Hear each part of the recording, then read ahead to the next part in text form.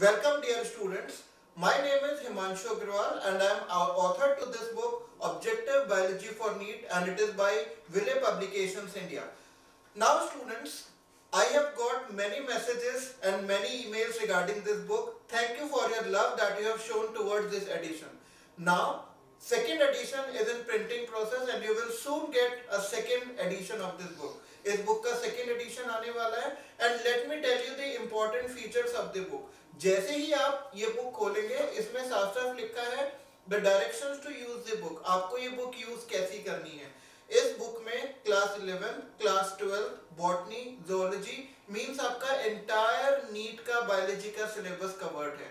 इसमें जो क्वेश्चंस हैं every chapter has around 150 to 300 questions और उन क्वेश्चंस को भी हमने क्या किया है? We have divided the questions into three levels level one level two level three ये लेवलिंग हमने क्यों की है? There is a aim for that इस लेवलिंग करने के पीछे, इस बुक का एम है। Level one they are very easy वो तो आपके सबके सही होने चाहिए। लेवल टू आर एवरेज वो भी आप सबसे आराम से हो जाते हैं।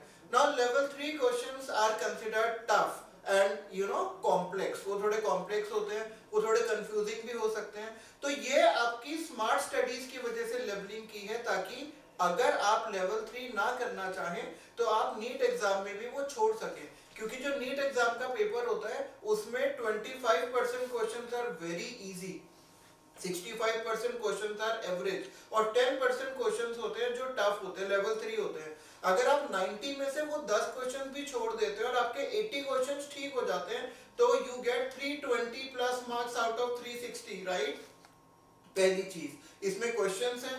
फिर हर चैप्टर से पहले एक माइंड मैप दे रखा है, एक समरी दे रखा है और इस बुक को सॉल्व करने का सही तरीका भी यही है। पहले आप एनसीईआरटी पढ़ें, जिस कोचिंग में जाते हैं या आप ऑनलाइन नोट्स पढ़ते हैं, उन नोट्स को पढ़ें और फिर इसकी समरी पढ़कर क्वेश्चंस करना स्टार्ट कर दें right now second most important thing in this book is question papers of previous years आप 2008 से लेकर 2019 तक के इसमें सारे क्वेश्चन पेपर्स हैं।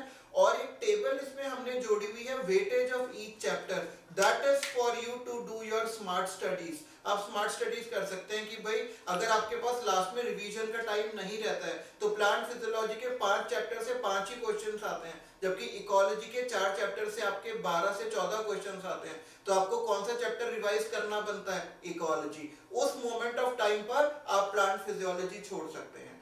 प्लस इसमें four full syllabus full length mock test हैं, जो आपको बिल्कुल नीट के एग्ज़ाम के चार दिन पहले आप एक एक पेपर अलार्म क्लॉक में टाइम लगाकर सेट करेंगे और उसे सॉल्व करेंगे। और इसमें पीछे हमने ओ एम आर शीट दी हुई हैं। आप ओ एम आर शीट निकालिए गेट देम जीरोक्स और जब आप रेगुलर भी फ़र्स्ट चैप्टर से जब क्वेश्चन सॉल्व करना शुरू करें fill the bubbles in the O M R यही सही तरीका है नीट का टेम्परामेंट डेवलप करने का। तो I have made this book this is a complete book इस बुक के होते हुए आपको कहीं से सैंपल पेपर्स नहीं खरीदने, आपको प्रीवियस ईयर पेपर्स नहीं खरीदने. तो this is the complete book for your NEET preparation right now I have taken full care कि इसमें एरर्स ना आए but I am a human being और हो सकता है प्रिंटिंग से या कुछ मिस्टेक्स अगर आती हैं तो I have given my WhatsApp number and my email ID critics and students for their problems are always welcome और ऐसा अब तक होता भी आया है। This book was published in 2017 and I have got hundreds of doubt from the students and I have solved them over the WhatsApp ठीक है? कॉल करके हम नहीं बता सकते because we are teachers we have to take classes लेकिन रात तक व्हाट्सएप पर जवाब देकर we can clear your doubt so students I am hoping the same love from second edition as I have got from the first edition. So all the best for your NEET examinations and take care. Thank you.